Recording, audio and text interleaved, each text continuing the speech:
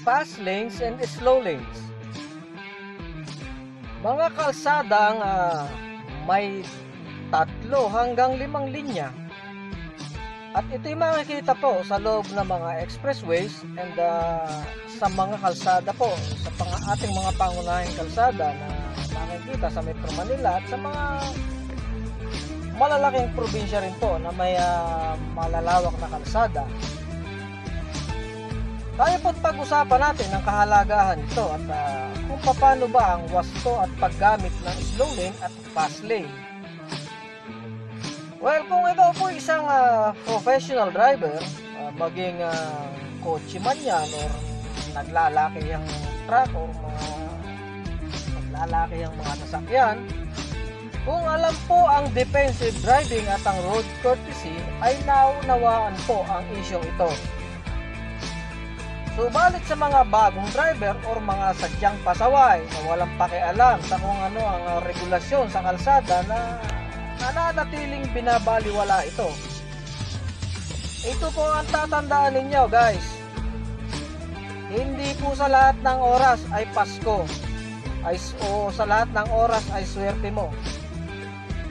Sa ganyang pag-uugali mo po ng pagmamaneho na binabaliwala mo ang mga rules sa kalsada sa, sa ating mga lansangan ay magbubunga po yan. Tandaan mo po yan, itaga mo yan sa bato. At ah, ito po ano, ipapaliwanag ko lang ano. Hindi naman lingid sa inyo ano, gaya nito sa loob ng expressways. Nakalagay dito kung ano ang tamang speed sa mga fast lane sa truck lanes at sa slow lanes. So, marapat pong maunawaan natin at sundin ito. Ito po ay hindi para sa kung kanino lang. Ito po ay para sa ating lahat.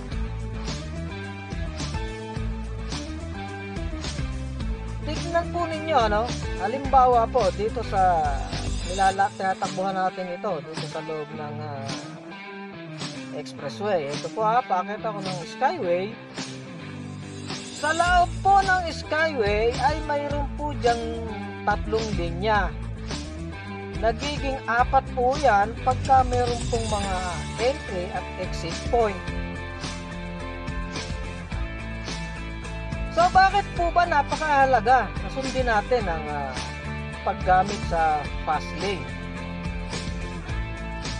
Ah, halimbawa po, ikaw ay isang driver na ah, tumatakbo lang ng 80 kilometers per hour.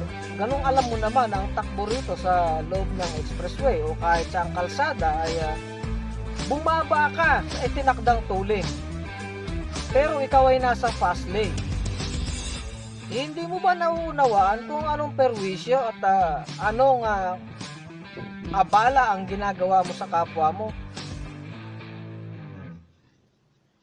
Ang ganito pong pag-uugali ng pagmamaneho ay ah, hindi po maituturing na isang ah, professional move bilang isang driver. Ano?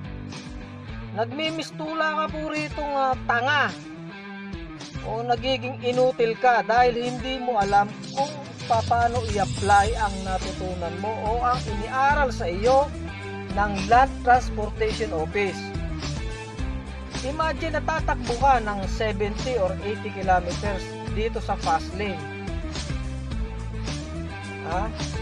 Tapos may nakasunod sa iyo na tumatakbo ng mabilis mas mabilis sa iyo, ayaw mong pagbigyan. Sa pag-iwas sa iyo, dahil gusto kong ma-overtaken at ikaw ay nakakaabala na. Umiiwas sa iyo na disgrasya. Hindi ka ba nakukonsensya na dahil lang sa kagaguhan mo ay nakaperwisyo ka ng kapwa mo? Gamitin po natin ang wasto ang ating natutunan sa pag-aaral sa pagmamaneho. Gamitin po natin ang wasto ang tamang linya para sa ating ligtas na paglalakbay. Hindi po maaari na ikatwira natin na nagbayad ka dyan sa expressway kaya karapatan mo yan. Katarantaduhan po yan. Pag yan ang ipapairalin mo sa pag-iisip mong kasingkitid lang ng isang linya ng kalsada. Hindi mo karapatan yung kalsada na yan. Hindi mo yan pag-aari. Karapatan nating lahat yan. Kaya marapat na sundin natin kung ano ang batas diyan at kung ano ang rules na ipinatutupad diyan. Yan po ay para sa ating kaligtasan at ah, maayos na paglalakbay. So sa tingin mo ba kung ikaw ang nasa posisyon ng ah, ah, mangyayari na yan, ikatutuwa mo ba yan? Oh. Hindi po, siguro naman, ano? Siguro eh, masakit din sa inyo yan kung sa inyo yan ang mangyayari.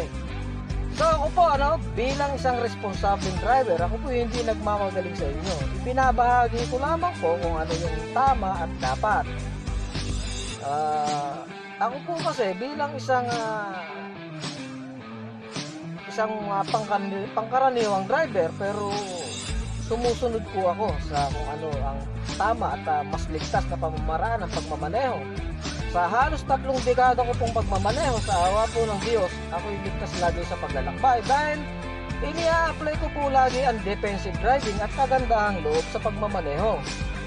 So kagaya nga po dito ano, makikita nyo kung paano ko gamitin ang slow lane. Dahil gusto ko lang na swabing takbo.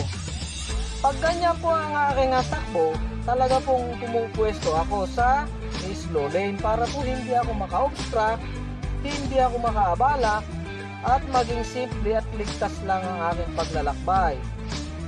Ito. Ganyan po ang ah, responsableng pagmamaneho. So ito po'y paggabay lamang ano? Eh kung ito po'y susundin ninyo, eh di maraming salamat po. Ito po'y kapaboran nating lahat. Eh, pero kung hindi mo susundin, nasa sa iyo pa rin po yan. Choice mo yan. Subalit ipapaalala ko nga uli sa iyo, no? Hindi sa lahat ng pagkakataon nang dahil lang sa kasutilan mo, eh araw-araw, eh Pasko o piyesta sa buhay mo, nagkakamali ka riyan. Tandaan mo ang paggawa ng hindi mabuti sa kapwa, umaani rin yan ng hindi maganda sa iyo. Aani ka dyan ng hindi maganda. Kaya maging ah, responsable tayong driver ano, sa bawat isa. Uh, gampanan po natin kung ano yung ating ah, natutunan. Huwag po tayong ah, engot na driver.